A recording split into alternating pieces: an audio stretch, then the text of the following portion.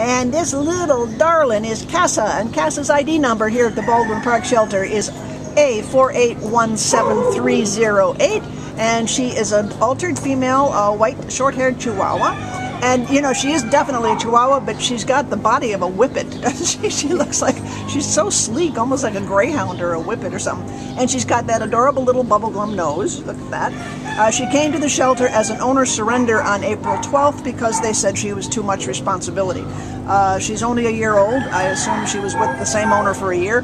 So it's now your chance to come and, and, and take this little darling home with you. She's the friendliest, sweetest. She loves. Uh, how'd she get along with other dogs, Lolly? Great, great She- with other yeah, dogs. and she loves everybody. She's just. She was so excited to come out of the kennel.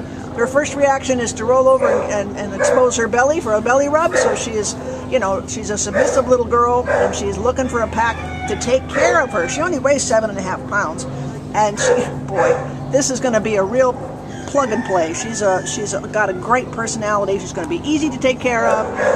And come and meet her. She's available right now, and she needs a new family. Boy, she couldn't be cuter. Bye, baby.